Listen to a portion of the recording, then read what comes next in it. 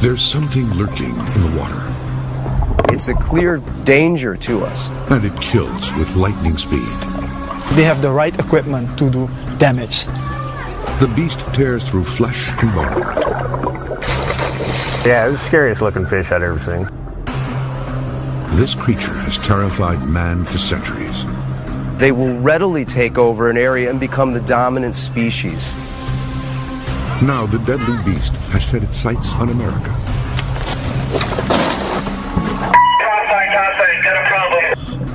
Monster Quest is investigating piranhas in America.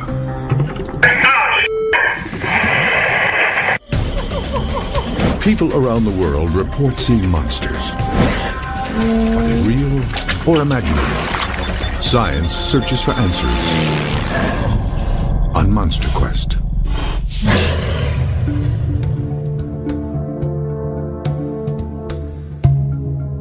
The Southeast is home to thousands of lakes.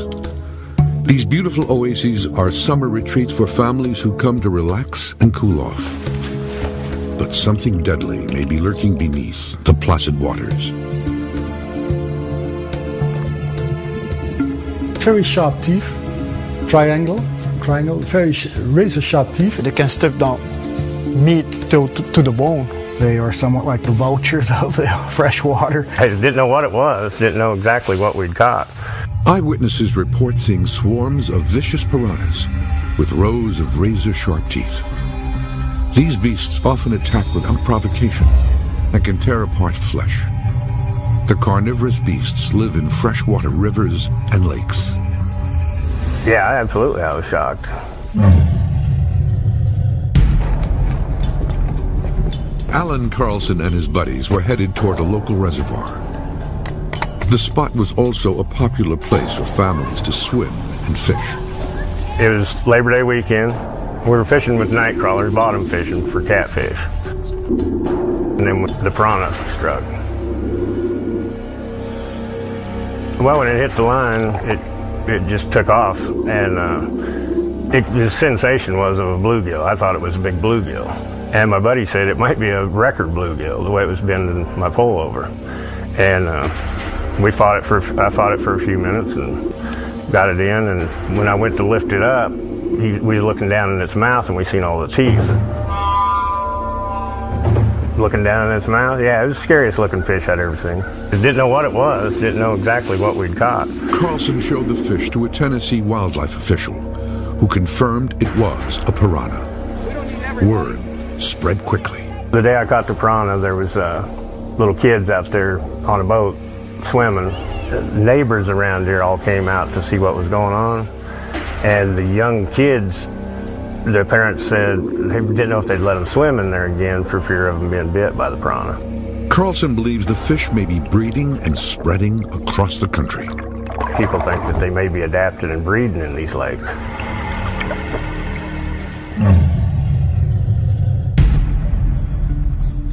Piranhas are native to South American countries like Brazil and Venezuela, places where warm water temperatures are normal. They are not known to exist in the U.S. except as pets. But suddenly, reports of sightings are emerging from around the country. Some question their legitimacy. If someone uh, had a few piranhas in their aquarium and they released them into uh, a, a, nearby lake or pond uh, that had, say, during the summer when the water temperatures are warm, the piranhas would would survive the summer. Uh, whether or not they would reproduce is less likely. Fishermen are probably doing a, a, fairly good job of removing most or all the piranhas that are there. I suspect that the piranhas that have been released are hungry, they've been raised in aquaria, and they're probably fairly easy to, to take with a hook and line. Moreover, it's unlikely, especially in a place like Lake of the Ozarks, that any of the piranhas would survive the winter. The most notorious location for piranhas in America is here at Lake of the Ozarks near Jefferson City, Missouri. Locals have caught a number of piranhas here over the last few years, and conservation officials confirm that the fish have been found in these waters. If you catch a piranha every year for three years, eventually you, you need to start considering the possibility that, that there could be something here. Monster Quest is here to investigate the sightings and see if piranhas are capable of surviving in these cold climate lakes. What we're trying to figure out while we're here is will Lake of the Ozarks habitat support a breeding population of piranha? Dale Pearson, a professional diver, will lead the expedition. I think the chances that there's a breeding population in the lake are actually greater than the chances of someone catching one stray piranha on, on 500 miles of coastline. Pearson has enlisted local fishing guide Jack Uxa to assist him. We're down here trying to find evidence of piranha habitat. I know there was one caught at the five mile marker. There's some conservation guys that are working up the Glaring Glaze with some trap nets for fish. We'd have to go check out up there. It's a, uh, it's a spring area with consistent water temperature. We know piranha exist. We know they've caught them in the lake. So now it's more a matter of finding the pieces of the evidence to support that this thing can live here year round. The team will submerge a baited underwater surveillance system in the lake. They will also search for warm water inlets where the piranhas could survive the cold winter months when the water temperatures dip into the 30s. And Monster Quest will work with state conservation crews to see if fish traps uncover any signs of the flesh eaters. You guys ready? The team sets out in search of a location to deploy the surveillance equipment. The plan is we're going to go to an area where the Department of Fish and Game does trap netting for crappie. And if there's a chance that we're going to find a piranha in the lake, that's probably a, a really good area where we're going to find it. So we're going to go there, set up a camera trap system and some bait, leave it there overnight, and see if we can bring something in. The fact that they've caught piranha here every year for three years, something this big tells me that it's probably not just a pet that's loose. Where we're going, it's a clear section of the lake. That'll be good. That way we can set up that camera trap and get the bait down there and give it 24 hours, come back tomorrow, Yeah. yank it out, see what we get. They find a spot about 50 feet from shore. Near where a freshwater stream feeds into the lake. No, you know what? We got about three foot right here. Three foot of this. Well, I'm gonna take take this chicken, stick this uh, rope through the chicken, and then I'm gonna tie it to uh, basically just a marker buoy so we know exactly where it is. We're using a dead chicken because piranhas like dead stuff. They like to eat dead stuff and uh, obviously small live stuff, but you know, a dead animal in the water is always going to bring Yeah. Whatever is around, especially like a nice greasy chicken giving off the Yeah. scent and A stuff lot of like flesh. that. Yeah, and he's got us right here by a stream coming in, so the current's going to come through and kind of push that push that scent out here into the main part of the lake. So that's the theory that whatever's out here is going to come in and, and check out what we got. That's when we take the picture. Oh, I think this is gonna work out good. I think if there's something in this lake, it's going to be chewing on chicken tonight. Dude, we're gonna have it anchored and we're gonna have it right in front of the camera. The team prepares the camera. This is a, a Harbortronics Aquapic 360, and it's basically an underwater surveillance camera that you can leave in one area for extended periods of time, and it shoots a 360 degree multiple images. So that way, whatever comes around your camera from any direction, you have a way better chance of getting a shot of it. You just flick it on here. Now it takes a shot turns. So every minute we're taking a 360 degree shot around our bait. So hopefully whatever comes up, we'll be able to see it.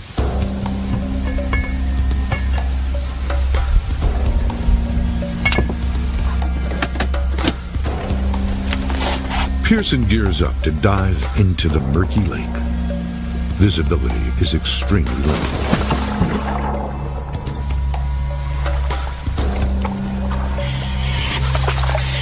Got it. You got it?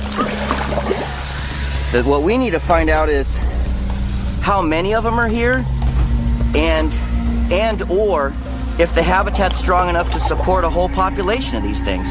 That's the whole reason for the dies. Okay, roger that. We're gonna go to the bottom now. I'll contact you when I hit the bottom. Copy. We got a lot of swimmers, a lot of people that use the lake, but uh, very rarely do we ever see scuba divers here. What kind of visibility do you have? Topside uh, visibility is approximately two feet to three feet. Bottom is uh, a thick, filthy mud in the middle of the channel, uh, leading up to a hard, rocky bottom on the outside. There's some submerged brush down here, and uh, actually, there's a lot of fish. There's uh, fish come up to me already. Over. Suddenly, something strikes Pearson's leg. Topside, topside, got a problem. Over. Freaking electrical wire. There's electrical wire down here. Ah, there's more of it. Monster Quest has traveled to Missouri's Lake of the Ozarks, searching for evidence that flesh-eating piranhas have invaded American waters. Native to South America, piranhas are an ancient species that have been around for more than 8 million years. Not a lot is known about uh, many of the South American fishes. They're, uh, the fossil evidence is, uh, of the freshwater fishes is, is fairly poor. Um, there have been discoveries in recent years of bits of pieces of jawbones of different piranha species, uh, some uh, such as this mega piranha. The modern piranha is thought to have evolved from the Megapiranha paranensis, which went extinct 10 million years ago. This prehistoric beast developed a distinctive row of flesh-shredding teeth, nearly an inch in length. Scientists believe this evolution may have occurred when food sources became scarce. Four times as large as modern piranhas, these ancient beasts were big enough to kill and devour other animals on their own, instead of working as a group. The modern-day piranha was unknown to many Americans until 1914. Teddy Roosevelt, uh, when he traveled to uh, Brazil uh, on, uh, on an expedition with his son, uh, also wrote about piranhas.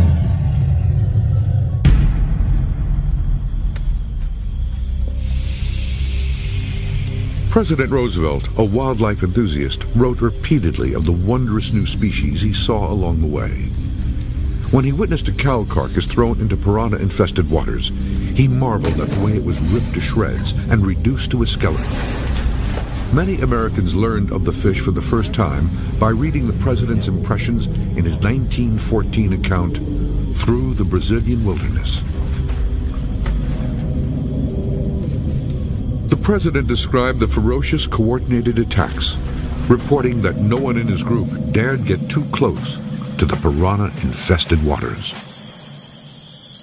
Teddy Roosevelt thought that piranhas were one of the most, in his opinion, uh, ferocious fishes. Roosevelt helped cement the piranha's reputation as a man-eater.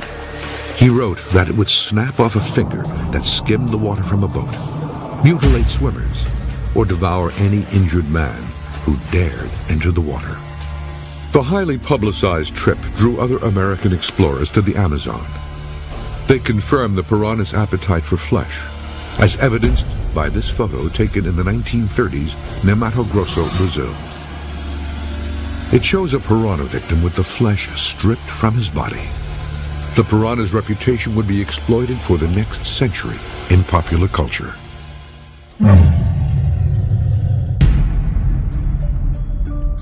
Some fishermen fear these ferocious creatures may be living and perhaps breeding in U.S. waters. However, most experts believe that if these beasts exist in the U.S., their range would be extremely limited.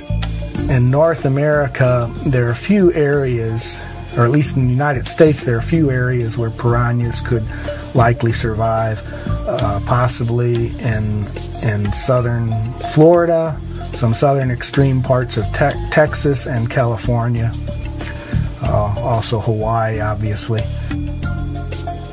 Missouri's Lake of the Ozarks is not an area that fits this description. The water temperature here can reach 90 degrees in the summer, but during the winter, much of the lake freezes, the piranhas being found here are all part of the red-bellied subspecies, which may be able to better tolerate temperatures below 55 degrees. Piranhas are a lot more diverse than people had realized. There's uh, over 40 different species. They come in all different sizes, uh, vari- variation in shapes. Uh, they feed on a lot of different things. It is possible that there are some piranha populations that have greater tolerance to cooler temperatures than others. So if if you uh, obtain some piranhas from say southern Brazil, which is getting more into subtropical, possibly even into temperate areas, these piranha species may be able to survive uh, better in cooler waters in North America. In order to test the theory that the red-bellied piranhas can survive in a cold water environment, the team has set up an experiment at the Aquatropics Aquarium Center in Minneapolis. We're going to hook up a chiller to the uh, aquarium. The science team will slowly lower the water temperature to determine if the fish can survive seasonal temperature changes in the Lake of the Ozarks. We have a 66 gallon aquarium with four fabulous specimens of red-breasted piranha.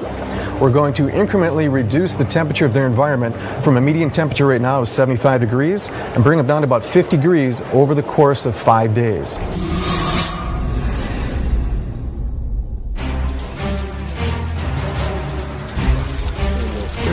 The expedition team is searching the lake for evidence that the piranhas aren't just surviving here, but breeding as well. The team loses radio contact with diver Dale Pearson.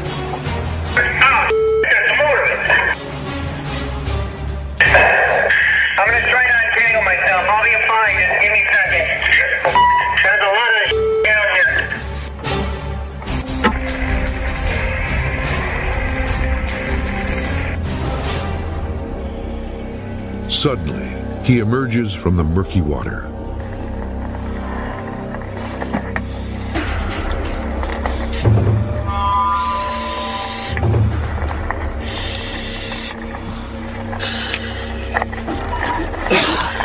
That sucked. This ain't no fishing string. You can't cut this with a knife. That was dicey. It was like some dude took a bunch of this crap and was lashing logs or like made a raft or something. And this stuff was just sticking up all over. And as I swam over it, it just whoop.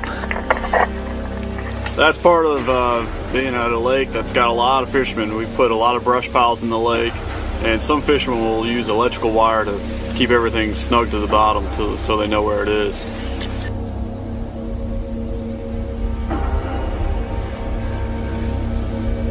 Team is looking for a clearer location to place the underwater surveillance camera. They pick a spot where piranhas have been known to strike bait. Hi, Dale. This is right near the five mile marker. This is where a little girl caught a piranha here recently. Okay. And this is uh, our next dive site. See if you can find anything. All right. Water looks better here. Looks more clear. Mm-hmm. It is. Yeah, the first deployment of the Aquapix camera system, we had a seal rupture, um, and we got some water in the system.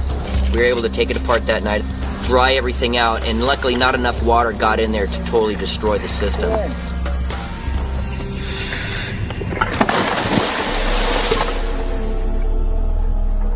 The second camera system will be baited with chicken to see if the meat attracts the flesh-eating piranha. You know, the other thing that's pretty freaky is that little girl that caught this piranha, it wasn't a little piranha. It, it wasn't one of those little ones that are just like the size of bluegill. It was about 12 inches long. Water temperature 57 degrees. Copy that, 57 degrees.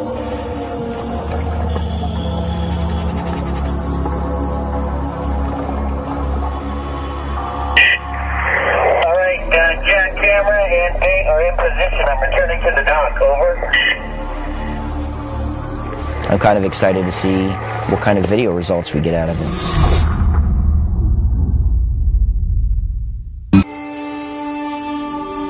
Monster Quest is exploring U.S. waters, searching for deadly flesh-eating piranhas.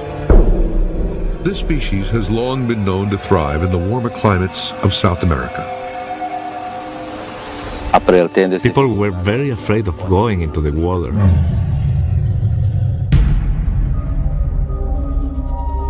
Eight-year-old Shaquille Sebejo was swimming in the river with a group of children. And suddenly, there was a churning in water. There was a tourist boat on the side of the river. And the visitors threw some food stuff in the water where the boys were swimming. My boy got bitten.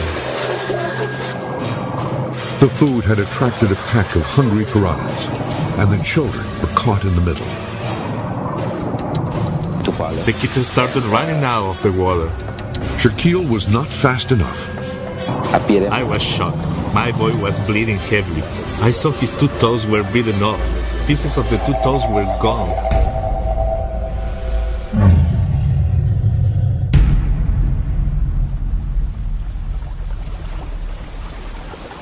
Suriname lies in the northern edge of South America, just north of Brazil.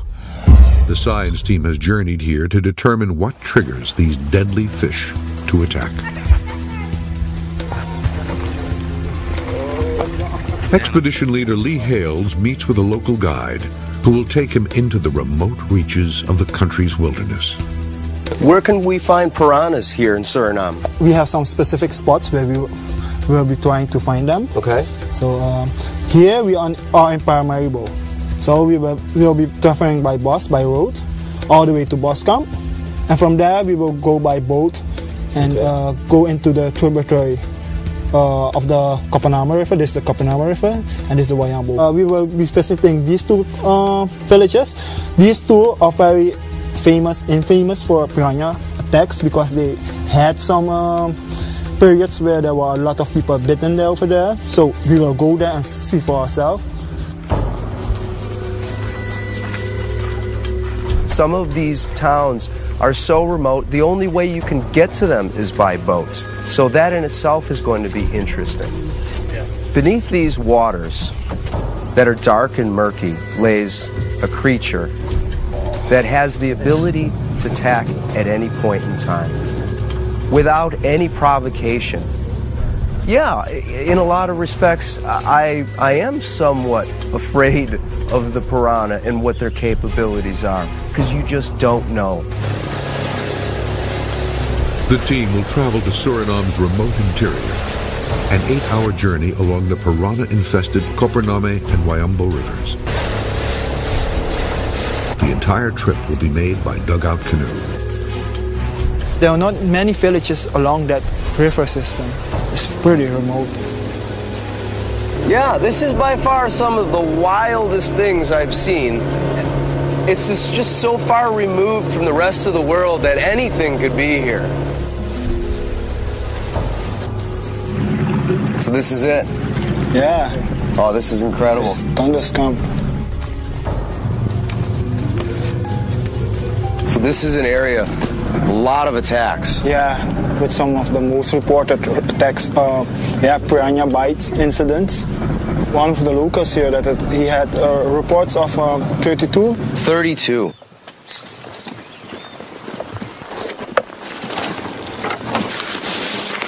The team arrives in the remote village of Donderskamp, where the locals live in fear of the flesh eaters. Hello. Nice to meet you. And uh, the bites were from very light bites to very bad bites. They were missing finger pieces, toe pieces. The ones were severe. Jan Monday, a local doctor, has treated most of the piranha bite victims. Wow, this is this all of these people here. This is a long list of people. It's something. This Yeah. lady was bitten twice. This one? There was a, also a lady who was bitten three times on the same toe. In die periode wel. The spirit was very bad because you'd only have to enter the water or splash with your fingers or feet and you would get bitten. There were many people missing fingertips or parts of their toes. People were very afraid. They were scared. They were very afraid of going into the water. Then there is a sudden commotion on a nearby dock. A fisherman has caught a large black piranha. And they make a certain noise. So, uh, uh, uh, when they're caught. You see the teeth? Nasty. Wow. Yeah. I mean, that, that is truly predator teeth. That is something. Wow. How many? Millions of these guys are in this river. The doctor has told the team about a nearby lake that has one of the largest populations of piranha in the country, an ideal location for testing attack triggers.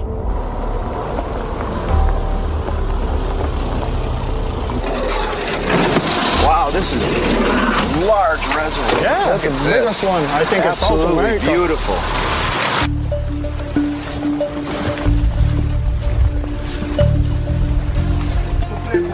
Yeah. Safety first. Yeah.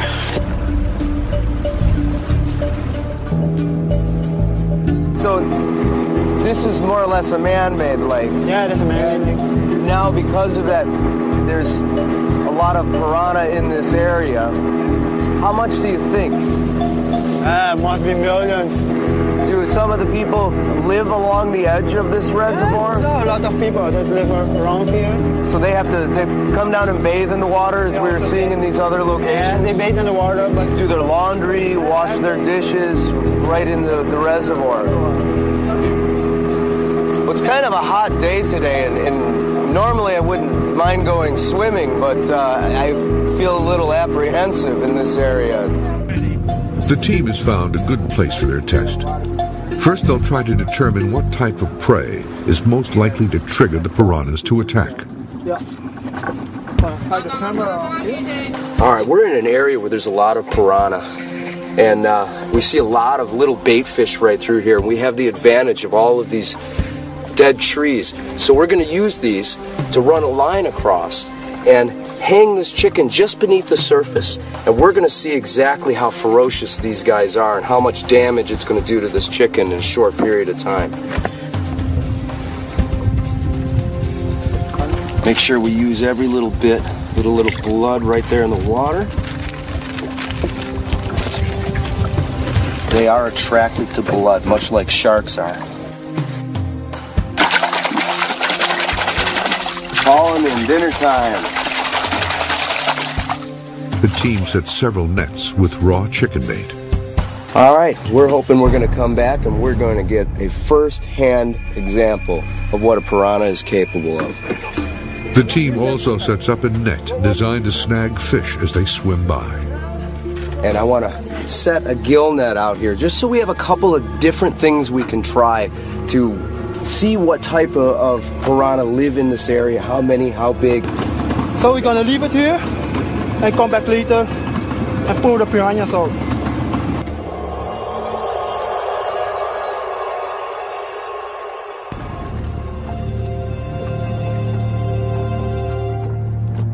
The team checks their traps throughout the day.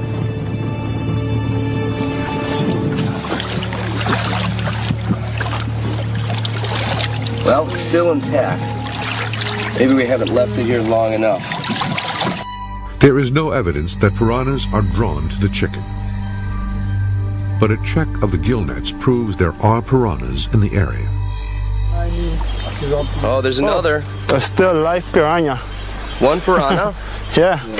I mean, he's been in there a while, and just look at him snapping. Yeah.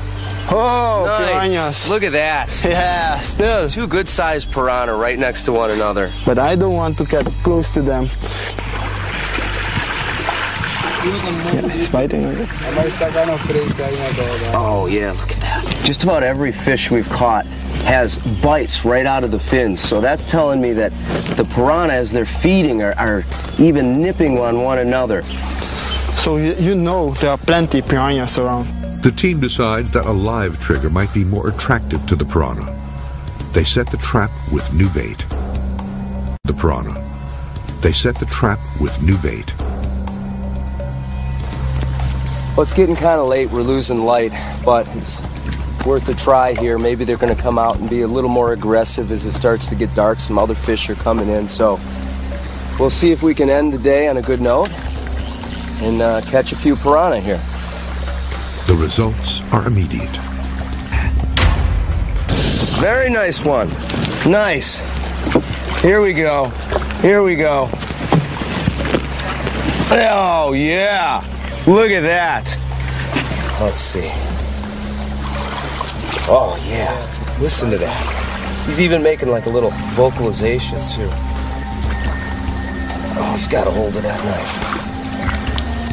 The movement seems to be the key that triggers the piranhas to attack, puncture, and shred.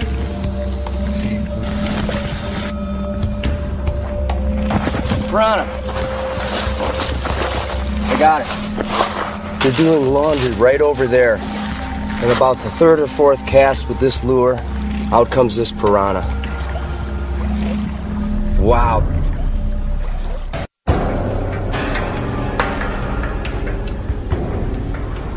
Monster Quest has traveled to Missouri to determine whether piranhas have invaded the Lake of the Ozarks and are breeding here. Parts of this lake freeze every winter with the water temperatures dropping into the 30s. The science team has theorized that the red-bellied piranha might be able to survive in low water temperatures.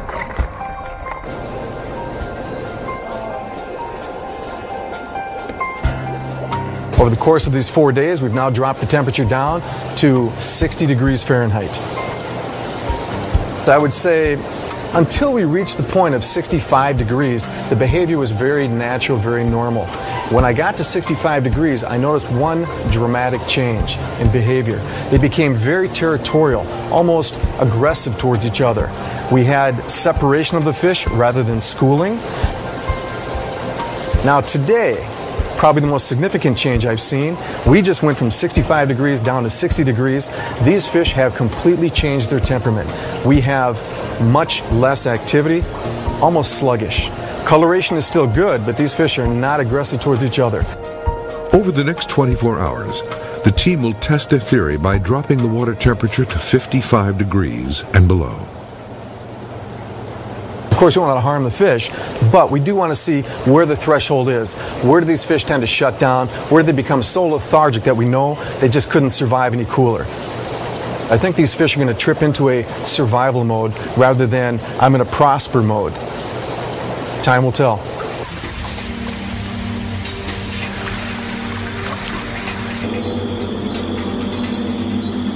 Despite the evidence, some scientists are skeptical that piranhas could survive in the U.S.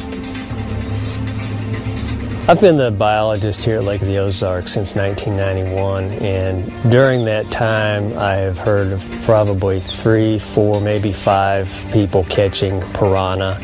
Uh, I've had a couple of them send pictures to me, and they, they were the red-bellied piranha. More than likely, these fish were people, uh, you know, they originated from people that had them in an aquarium and either got tired of them and, and let them go, uh, you know, into the lake. The fact remains that a number of piranhas have been caught in the Lake of the Ozarks over consecutive years, leading some to suspect the beasts may be breeding. This is a huge lake, dude. the chances of one person letting a piranha go and then someone else catching it, there's got to be a population of piranhas in here. The expedition team is trying to determine if the piranhas are surviving the winters here. What we're trying to accomplish is to prove that the habitat exists to maintain a population of piranhas. The team is joined by the Missouri Department of Conservation. So we're coming up right now. This is the Missouri Department of Conservation. They're doing traps, trap nets out here, and we're going to get a chance to work with them today and uh, see what kind of stuff that they're getting when they pull these nets up. The Department of Conservation has been monitoring fish populations carefully, looking for signs of these killer fish. What we're doing today is running trap nets for crappie. Uh, we do an annual survey. Uh, on a given day, we'll catch anywhere from 200 to maybe 500 crappie. The team will check the nets to see if they snag any of the invading piranhas. So how many of these nets do you guys put out? We run 15 nets. White crappie, 8-9. But so far, there is no sign of the monster. Black, 8-4. While the water temperature here is cold, there are parts of the lake or the Ozarks that are fed year-round by underwater springs. This means parts may remain warm enough for the flesh eaters to survive year-round. All right, Daryl. This is the spot I was talking about. Okay. This is the spring where it enters into the lake. Right over here, about a quarter mile is where it comes out of the cave. All right. This is 48 million gallons of water a day 48 million gallons a day pouring out of here? Comes right through here. So where can I get in the water? That I, I ain't getting in right there. Yeah, there's no access beyond this point.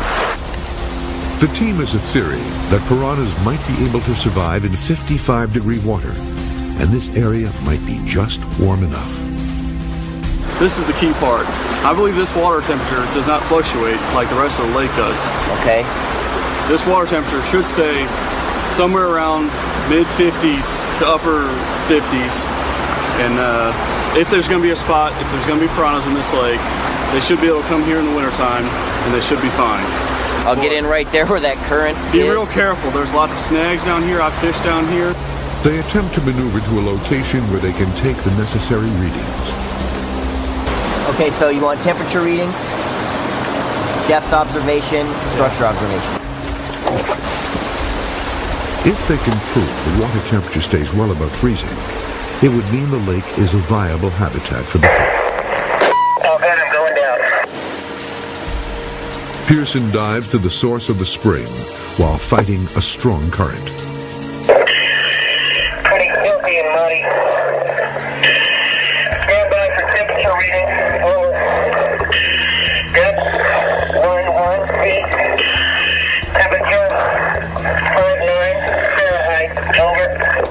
59 degrees.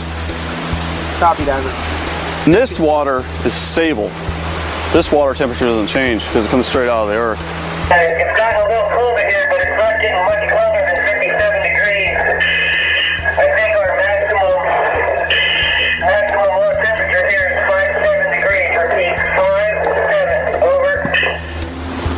Thank you. That's uh, that's what we wanted to find out is what the bottom temperature is, what the lowest this lake gets, and it looks like 57 degrees is it in the spring area. The water temperature also rises to between 70 and 90 degrees in the summer months, which is ideal for piranha breeding. So now you've got a consistent water temperature that can keep them alive. You have a breeding temperature in the summertime where they can breed, and you have a lake with as much coastline as the state of California. So, huge body of water. The temperatures are livable. There's plenty of food in the lake. There's shad and all kinds of stuff all over. So I, I, I don't see. I'm trying to find reasons why they couldn't be here. The expedition team returns to a position on Lake of the Ozarks called Five Mile Marker. A flesh-eating piranha was recently caught in the area. Earlier, the team set a trap here, hoping to get evidence of a piranha. I'm finding, trying to find the kid guy. He got dragged away a little bit. Kind of shredded up, actually. It's actually a little shredded up. Pretty surprised. Pull. Oh wow! Wow, look at that. It's actually been uh, chewed up quite a bit. Monster Quest is in Missouri on Lake of the Ozarks, searching for evidence that flesh-eating piranhas may be surviving and breeding in these waters. This man caught a piranha in a Tennessee lake. This researcher is studying how much cold piranhas can tolerate. And this researcher is testing piranhas in their natural habitat to see what triggers them to attack.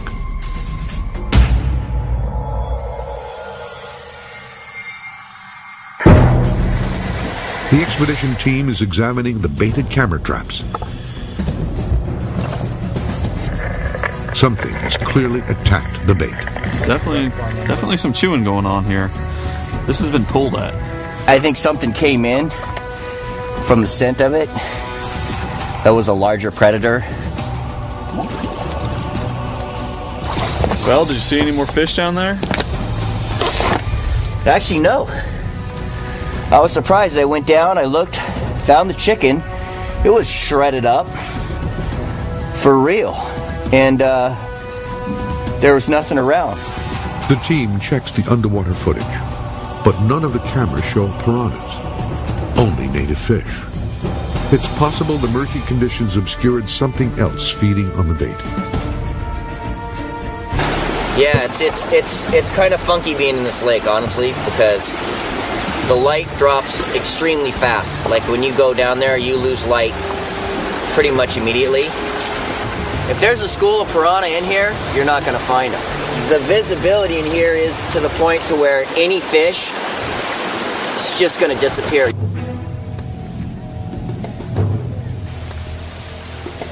The expedition team is determined that there are parts of the lake that remain at 57 degrees even in winter and the science team is testing to see if the red-bellied piranha can survive at that temperature. They've reduced the temperature around the test subjects over the course of several days. Of course, we don't want to harm the fish, but we do want to see where the threshold is. Where do these fish tend to shut down? Where do they become so lethargic that we know they just couldn't survive any cooler? On day five, there are profound changes. We get down to 53 degrees, and these fish started to huddle together. They literally lined up in a row as though they were almost absorbing each other's body heat, the little that there was. But as we continued to drop down to 52, you could tell the disorientation became evident. The fish would swim awkwardly, almost labored. They would huddle together at one point, and then, almost as though the instinct of survival were trying to step in, they would take off and try to swim for activity, almost to warm up. Condensation covers the now frigid test tank. The drop in temperature from 55 down to 50 degrees was the big one. We saw the greatest amount of change. The piranhas lose their ability to stay upright at temperatures of 50 degrees. Their equilibrium is gone. The fish, I do believe, would survive fairly comfortably in the mid to upper 50s. This monster quest expedition has turned up some interesting results. The science team is determined that red-bellied piranhas will adapt and huddle together to survive at cooler temperatures. It will take water temperatures below 50 degrees to kill them. And the expedition team has identified spring-fed waters in Lake of the Ozarks that stay in the high 50s year-round.